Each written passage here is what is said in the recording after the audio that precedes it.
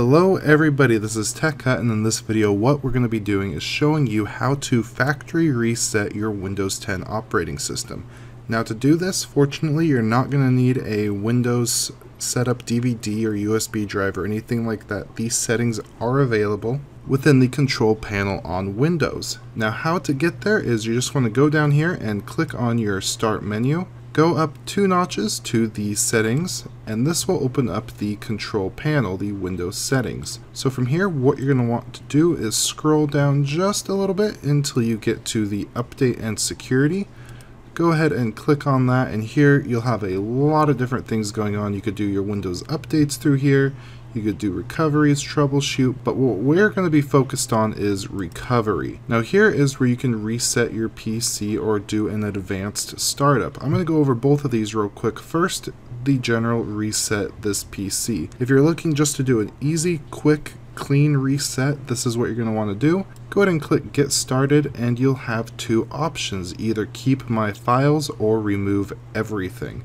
If you keep my files, this is still going to remove all the programs, it's going to reset all the Windows settings to default, but you'll still have key files such as Word documents and things like that.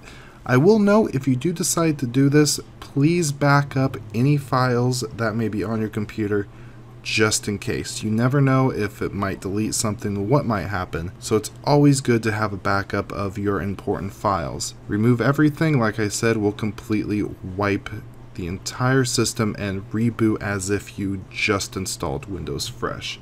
So you go ahead and select whatever one you need. So for example, if I clicked on keep my files, it'll start getting things ready. It won't take too long. But for right now, I'm actually going to cancel that and I'm going to do an advanced to startup so I can show you a couple extra settings here. So I'm going to go ahead and click on restart now.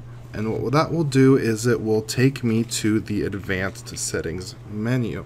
Now here we have a couple options. We can either continue, which will just put me right back into the Windows 10 operating system, or go to troubleshoot. Now here you'll have a couple options. You have reset this PC, which is essentially what we were just looking at, the keep my files and the remove everything.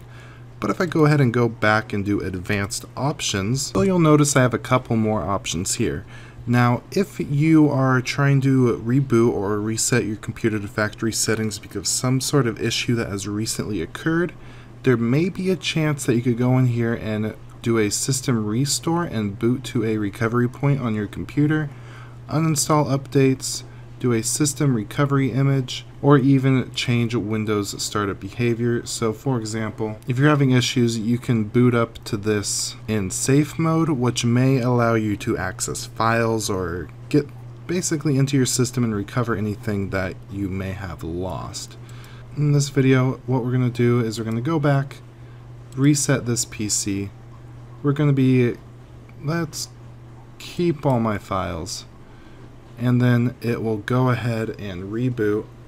And when it does reboot, you'll see this, reset this PC. We're just going to pick my user, type in my password, and once it does that, it's going to start the resetting process. It's going to ask you to confirm, so it's going to remove all the apps programs that didn't come with the PC, change the settings back to their defaults, and reinstall Windows without removing your personal files. You just go ahead and click reset and it's going to go ahead and do that. You can see down there it has a little progress bar so you can see how far along it is. So let's go ahead and skip ahead in this video and see what's next.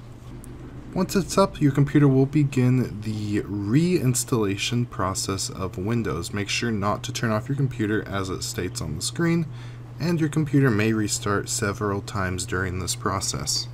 And then when it finally boots up, the one thing that will be different than the typical install is you can see here that I'm able to do my normal login. I don't need to go through and reset up my user profile or go through that annoying Windows startup where you basically have to decline all of the Windows features. So that concludes this video on resetting Windows 10 to the factory settings and clearing up your files and overall this should increase your computer's performance if you've been having performance issues. If this video has helped you out in any sort of way please smash that like button, leave a comment if you have any questions, concerns, or anything of that nature. I hope you have a great day, make sure you subscribe for more Windows tutorials just like this, hit that bell so you're notified when they're uploaded, Have a great day, and goodbye.